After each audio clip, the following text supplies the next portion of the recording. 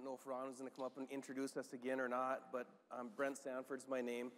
And uh, it's, it's, always, it's always fun for me to be able to come home, especially to be in this building and see all the oil industry employees and executives here. And, and it's one of my favorite things to thank you all for this. Thank you for your investment in North Dakota, your investment in jobs, bringing the jobs to our state, especially to this corner of the state. And, and just give yourselves an applause for what you have built here. This would not have been built without this industry. So thank you so much.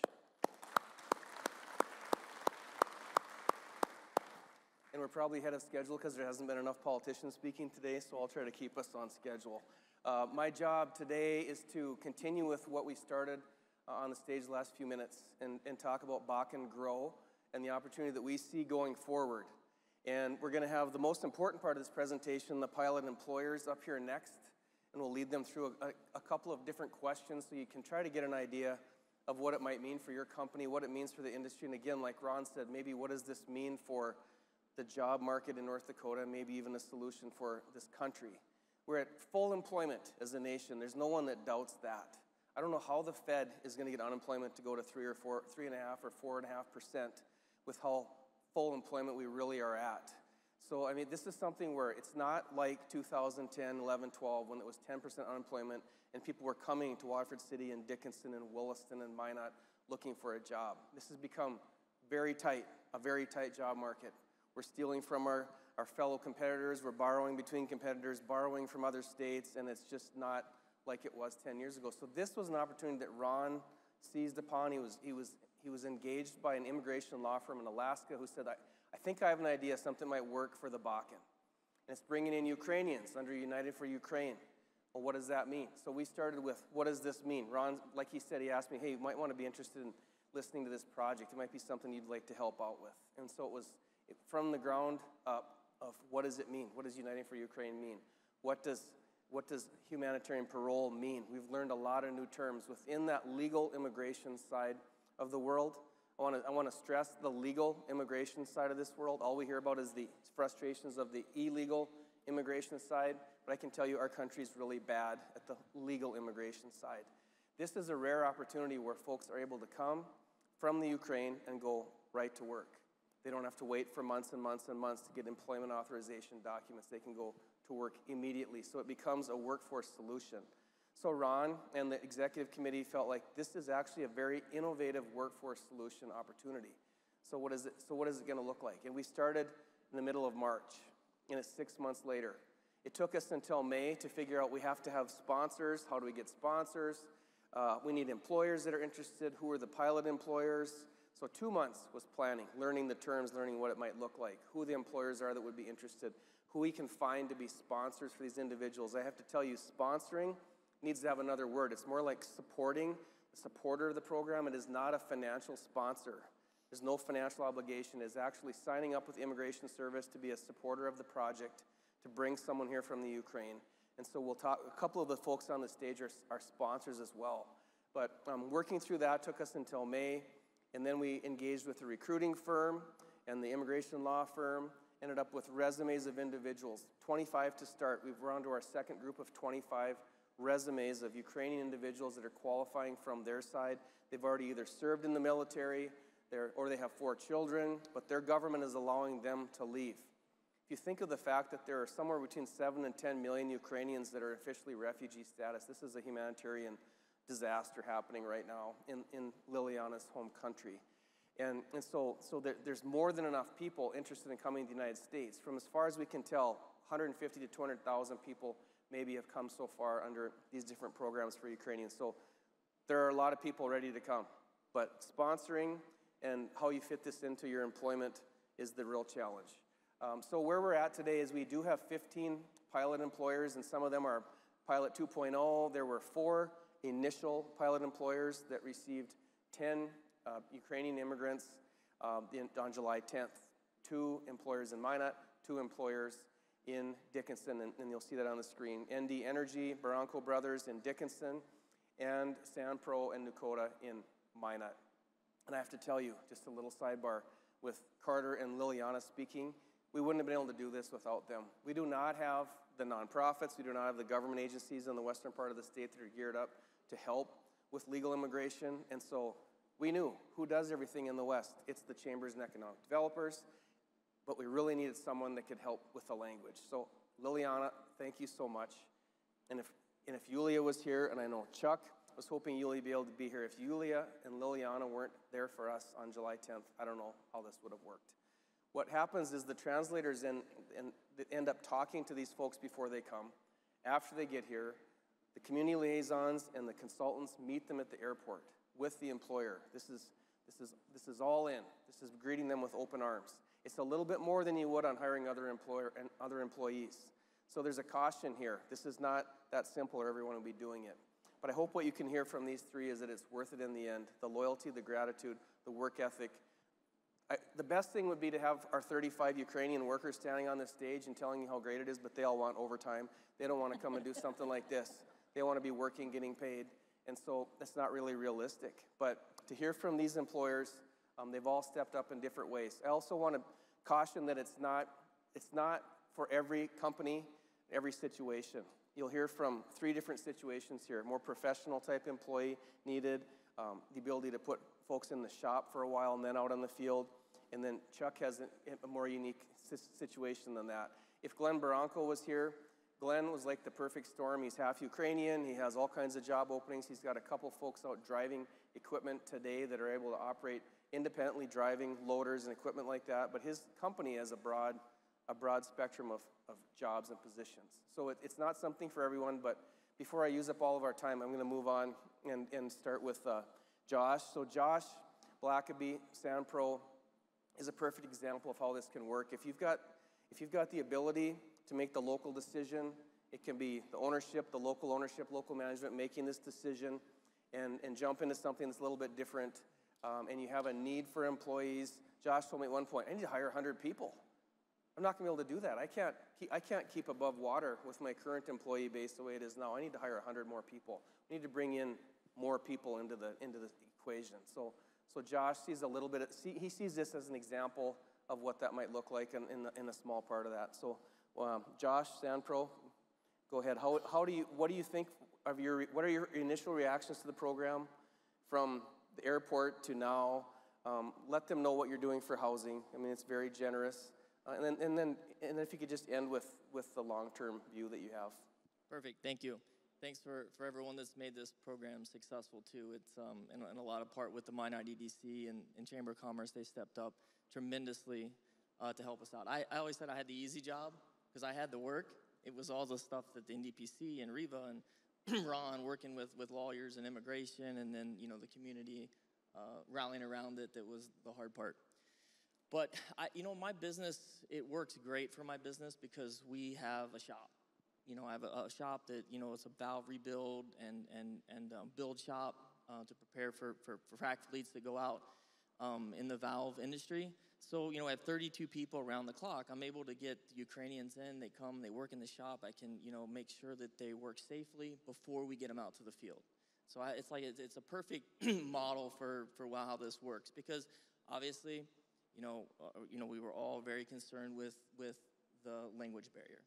And, and with the language barrier is safety, which is, you know, important to every single one of these, these folks out here and, and all of our, our clients that we work for. So, um, you know, there was a lot of apprehension at first. I was nervous, you know.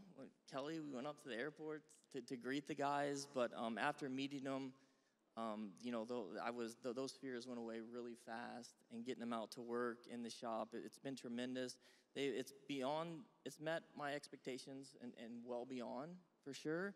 Um, and I say that because, you know, they're not just good workers; they're they're just wonderful people. And I feel like it's, it's they, they have North Dakota values that go back 50 years, if that makes sense. It's, it's just the, the different values. They want to work. And I'll give an example, example of this. Um, Andre, one of our, our first ones that arrived in June, um, you know, I, have been I've put been putting them up in hotels. We're getting a house that they want to stay together. We're getting a, a big house for them that they can all stay together. Uh, they will be moving in in the next couple of weeks. But you know, since June, we've been keeping them into you know a, a, a, mainstay where they have a kitchen and all that fun stuff. Well, you know, I told him at first, I said, don't worry about anything. We'll provide you transportation, your housing, etc. Well, two weeks ago, he approached me and he goes, he goes, Josh, Josh, I, I want to pay for my housing. I don't, I don't want you to pay for it anymore. You know, that's just a prime example. Like he came to me, approached me, and said, I want to pay for my housing. I don't want you to pay for this anymore. I've got some paychecks under my belt now, and it's, I want to pay. So he's not looking for a handout. Um, and, and as Brent said, these guys would work 12 hour days constantly, nonstop. They tell me all the time, we don't have family here, we just want to work, work, work. Um, and their work ethic, ethic is, is absolutely phenomenal. I'm, I'm excited about the second phase of getting them out. Um, you know, a lot of work for a lot of the operators in the room, getting them out on your guys' locations.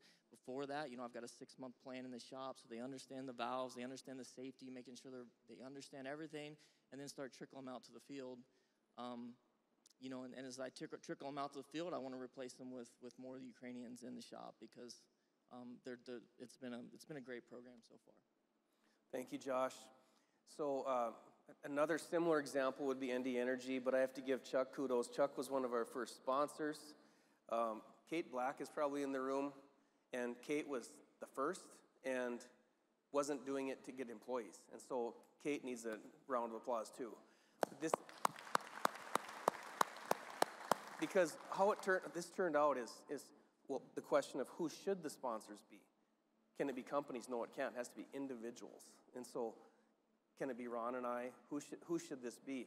It can be anyone but what it's turned out that the best the best path that we can find is that there, there's actually two paths. Minot put together service clubs where service club members were kind of competing between themselves of okay we can have sponsors here from the lions club and from the rotary club and then they're sponsoring individuals, and, and then the, the, the, the, companies don't, don't have to end up being involved in that part. But in Dickinson, ended up being such that ownership and management ended up being the sponsors themselves. So Chuck was one of our first sponsors. And ND Energy also um, has, has hired recruit, recruiting from, from within the, the, the realm of, of uh, friends and relatives of, of their Ukrainian workers as well. And Chuck also has helped to bring some family members here. So Chuck's, Chuck's got a good story to tell. Could you tell us um, what, how it's turning out compared to your expectations, and also a little bit about the sponsoring, if you could?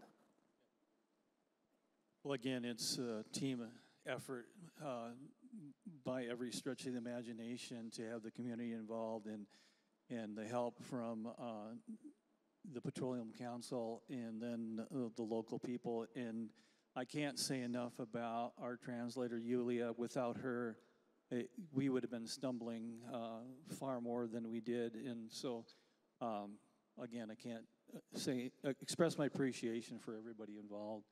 Uh, our Ukrainians, immigrants, go into the water transfer program, and um, maybe by accident, we were fortunate enough to immigrate basically two at a time. Typically, one had very good English, and, and to offset the lack of uh, the uh, ability to speak English uh, on the part of the other immigrant, which helped tremendously as well. Uh, in the water transfer business, um, we probably, entry level wise, maybe a little bit less safety concerns than other parts of the oil business, so that helped as well. We have a team approach on our water transfer team, so that helped as well to uh, kind of bridge the communication barrier when we had those two Ukrainians on that team, and one could help the other. And uh, everything that we've experienced has been positive. In fact, I, talking to our management team, they, they said, if anything, these workers have stepped up the bar for the rest of our people they don't uh, get involved in the drama that you sometimes get in the oil patch, and they uh, are very diligent in uh, keeping their nose to the work at hand. Most of our workers came from an Alaska cannery where they were working 16 hour days and they would work for four hours straight, get a 15 minute break, work another four hours, and have uh, lunch, and then do the same thing in the afternoon. And I asked them, Did you get to see any part of Alaska? Did you go, get to go fishing? What'd you do in your time off? And they said, We slept. So when they got a chance to see what they were doing and go out in the field and know that they were going to be laying pipe and actually be outside and driving a pickup. This looked uh, pretty inviting to them, and they're very appreciative of the, of the work that they're able to do. Uh, somebody mentioned, you know, that they, wa- they definitely want to work. Uh, when we uh, were bringing the Ukrainians in, and uh, we found out wh- what their travel experience had been the previous couple days. They were traveling across Europe in a train, and then got into a, a plane, and basically, you know, spent two days of travel. A couple of our our uh, immigrants ended up in the Denver airport overnight, and so the first thing that we did was to give them the next day off to kind of recover. And I, I think all of them probably would have went to work if they had the chance. So they're definitely committed uh, to the job and appreciative. And uh, it's been a breath of fresh air. I, I do recruiting for the company, and uh, it's like if you were recruiting, like somebody said 50 years ago. The values, the morals, the appreciation is just, it's been outstanding. How about sponsoring? Could you give a little bit of an input on sponsoring? Is, is it breaking the bank? Are you having to give up too much financial information? I mean, there's a lot of fears. People read, they read what it is to be a sponsor for a refugee or humanitarian parole, and it's daunting. Actually, it's pretty easy. Um, we sent a copy of our most recent tax return.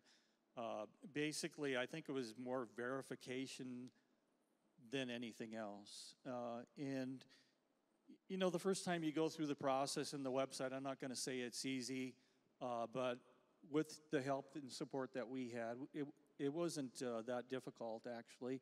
And we were able to get uh, y- you know, the information in on a timely basis, and it seemed like uh, that part of it was uh, fairly easy. My wife and I uh, took on sponsoring the wife and, and daughter of one of the workers who were from Odessa. And if you follow what's going on there, about a month ago, uh, Odessa was considered to be a fairly uh, safe place to live until you know the grain ports issue came up and, and basically there was uh, a war broke out there. We found out here recently that uh, we've been approved to bring them over, and so that's pretty exciting to reunite uh, the wife and child of one of our workers uh, with with him. So. Um, but it, it's really been a great experience. I'm not saying that we knew what we were doing. A lot of it was, you know, uh, figuring things out that day with the help of Yulia. It uh, made it obviously easier, and then with the help of the Petroleum Council and your staff, it's it's been uh, a great experience, and uh, it just I think gives the community and gives the company a very good uh, feeling to be able to help somebody outside of just giving somebody a job. Thanks, Chuck. And I have to give a shout out to Becky Ness. Chuck could tell you if you're behind on your paperwork for sponsoring, Becky will get you in line. We have a gal named Raina that works at the law firm, and she interfaces with Becky, and we know that we know the status. We know that if it's holding up getting the employees here because well the sponsors need to get their information in. So it's a well-oiled machine. We've got all these parts down, but thank you for that. It's, it means a lot more for you to say it than for us, and and it's. Uh, it's not as arduous as it seems, but it, it seems like the overall picture of it is the government has this set up where they require a sponsor, period. Even if it's not something where you're going into a, a home, it's not, it's not like bringing in a college exchange student or, or a foster child of any means. This is just a matter of saying, I vouch for these people coming on this program, and, and you have the capacity. Then they, they check out financial capacity of you can support a person, and they deem that to be $28,000 per year of annual income to be able to support one person. So the next phase of this is hopefully some of the workers can sponsor friends and family as well. Um, next one we'll, we'll ask here is Kathy. So Kathy uh, was on the initial conversations.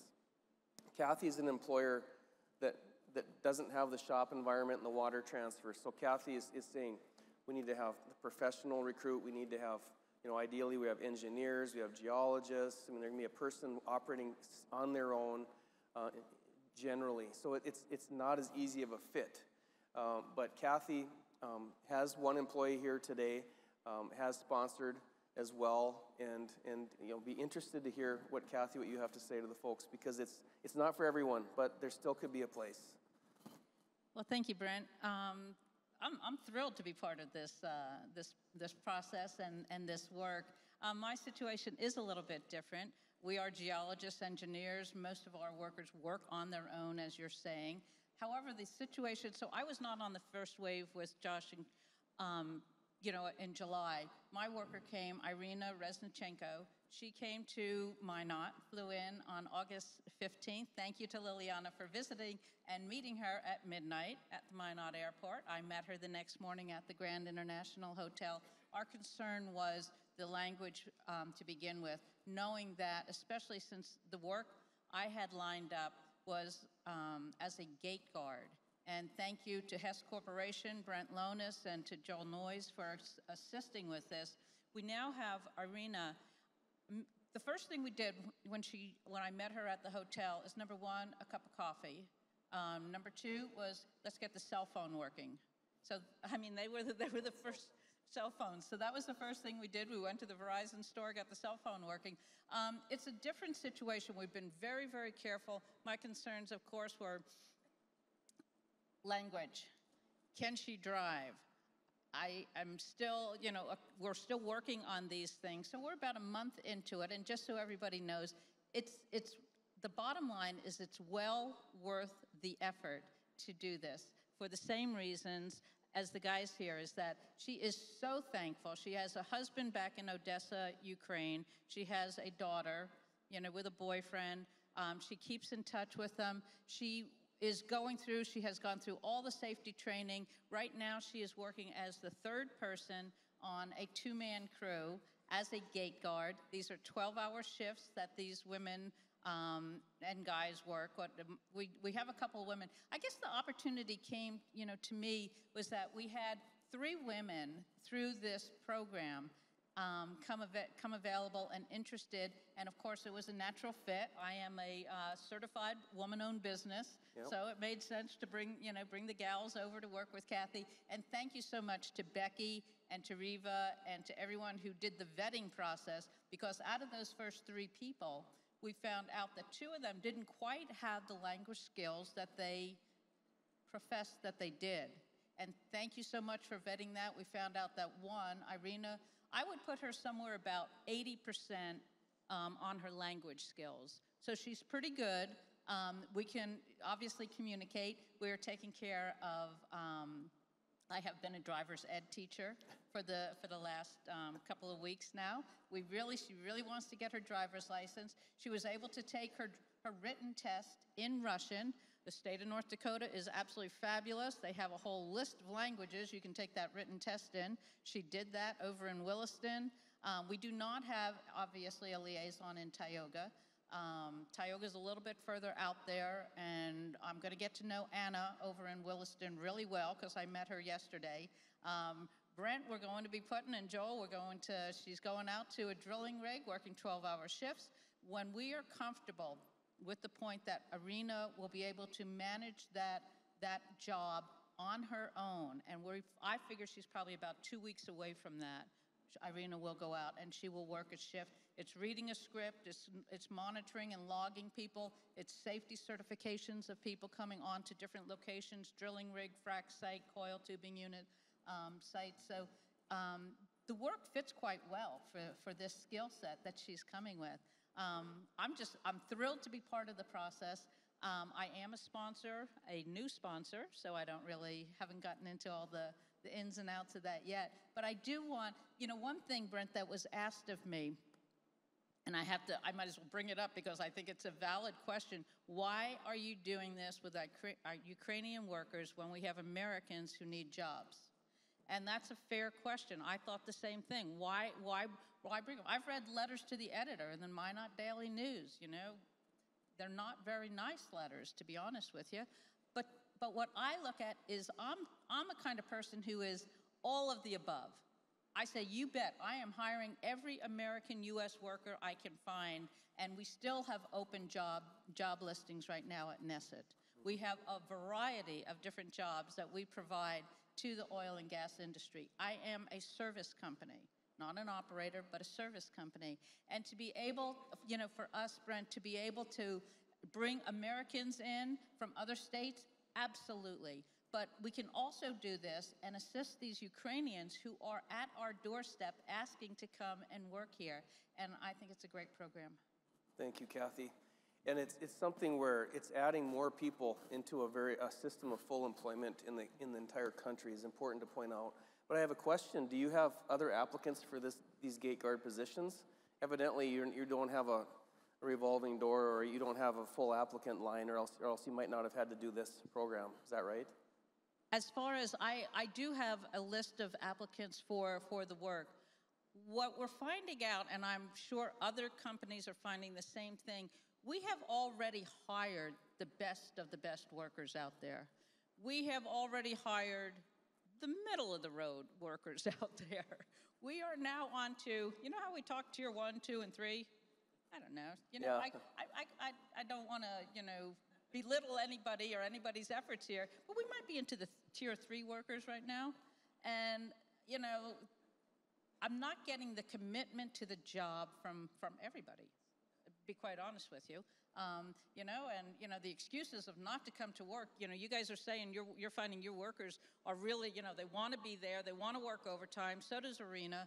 Um, but we have some other workers who are, oh my goodness, you know, my car broke down and I'm tired and I slept in and the football game is on and bam, bam, bam, bam, bam. And I, hey, wait a second, that rig is still drilling and we go 24 hours, 365. You know, we have to go to work. Um, I'm getting more of that cooperation, you know, from Irina, and I am getting a lot of turnover and a lot of turnover. So it's an ongoing. Uh, that's why I go into all of the above for hiring. I think yes, U.S. workers, North Dakota workers, regional workers, wherever you're coming from. But I also say that this United for Ukraine is a wonderful program, and I want to take part of part in it. Thank you for giving it a Amen. shot. Thank you. This is the real closer. Amen. Kathy was lined up in the bullpen to be the closer. But, but Chuck, I have, I have to poke you one more time. So, so one of the conversations that we had early on with you and Jason Homiston was, was what is your recruiting looking like today? And Jason offered, it was kind of a funny analogy, but it went from 100 down to about two. Yeah, we bring in 100 people. And then you first X go off from drug testing, and then it's, you know, whatever it might be. You might end up with two or three people that actually get employed, and then, and then oftentimes one of them leaves within a few weeks or months to go across the, the street. And so, so there's an investment to touch 100 people to get down to that point, I assume. Is part of the reason why this might also be an option that makes some sense. Well, it, there's definitely a, a sorting process, and then once you think that you have, you know, you're 10 out of 100, obviously you alluded to it, you're lucky if they pass the drug test or if they stay long enough to get through training. So it, it is a, a challenge, and I, I guess maybe this is one of the benefits. Is like you don't even have to think about these people whether they want to work or whether they're going to stay. It's it's a it, there's no question, and you know it not just because of their situation. You know it because of their appreciation for what you're doing for them. And uh, I know as a company, uh, it the benefits of it have far outreached any investment we made in it. right? And, and so, um, so the good part is that the good part you get someone here ready to work. We haven't talked about cost, but we're we're, we're dialing that in as we go. It seems like it's going to end up being about forty-five hundred dollars a person, and that's your fees, your transportation from the Ukraine to the United States, all of it paid, employment authorization, all, all the fees paid, $4,500. And so you have to think about that in terms of what do we pay for our hiring process the way it is now to get someone ready to work. But there's a but in the middle of that. You have to have a sponsor, which a sponsor in general can, one sponsor can generally sponsor five beneficiaries or so. So we need to think about that sponsor, um, bring in the NDPC sponsors so we can keep the program going. But second of all, it's, you've heard a little bits and pieces about what that first month looks like. And the first day, for some reason, these flights always come in between 10 and midnight.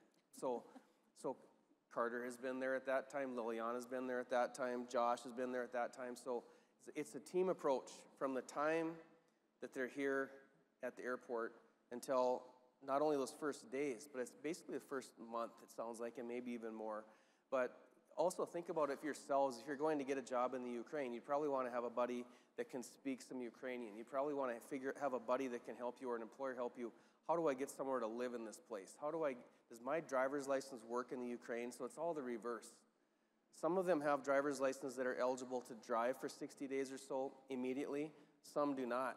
But then at, after that point, Kathy alluded to being a driver's ed instructor. They have to go through the same thing that our, six, that our, our 15 year olds do to go through go through uh, the, the, the, certification, the tests, all, all that stuff. The same thing you do when you're a kid. They have to start from ground zero. But it can be taken in Russian, so that helps. Social security numbers, since most of these folks were getting, have this, this tie to the Alaskan law firm where they've worked in the fisheries, most of them have a social security number. They might not have their card, so it's another process. So, so there's, a pro- there's a process of cell phones, getting the SIM card changed out going to figure out driver's license, figuring out social security number, let alone where they're going to live. Now, I know 12 to 15 years ago, most of you were providing some kind of crew camp housing. Today, it's surprising how many employers say, no, we don't do anything for housing. And that's good that we're at that point. Kudos to a lot of developers that added a lot of apartments and a lot of houses in this place. In Watford City, Williston, Dickinson, mine at the last 12 to 15 years, Killdeer.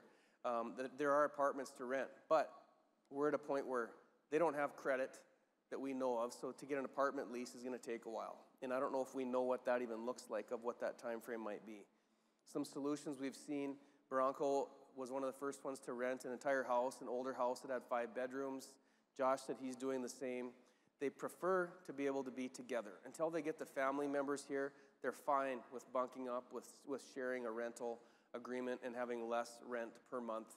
It's something that we expect the employers would payroll deduct for that amount of money. Um, Glenn Bronco's story is hey, I'm renting a house for $1,600 a month. Five of them are living there, $320 a piece. It works. Same thing with cars. They probably don't have credit to go down the street and buy a car. Cars are pretty expensive today, but their goals are to get their own place to live, get their own car. But in the meantime, I know Glenn has also shared with me, yeah, I'm actually borrowing the money to them. A couple of them, I, don't, I know at one point it was two or three, are in, in the process of buying cars and, and Glenn is actually borrowing the money. So it's, it's kind of back to what it looked like to me 12 to 15 years ago for the, in this case. But what you're getting is someone that wants to work that overtime. They're very grateful. What we hear from the Alaska employers, they're not jumping around. They actually feel so much gratitude for these folks getting them here and giving this opportunity and for employing them and helping out with housing, helping out with the vehicle, that, that, the, that they're, they're likely to stay longer. Um, Josh and I were just talking outside about time frame. So United for Ukraine is a two-year time frame. Most of these, these work visa programs are, are seasonal, four to six months.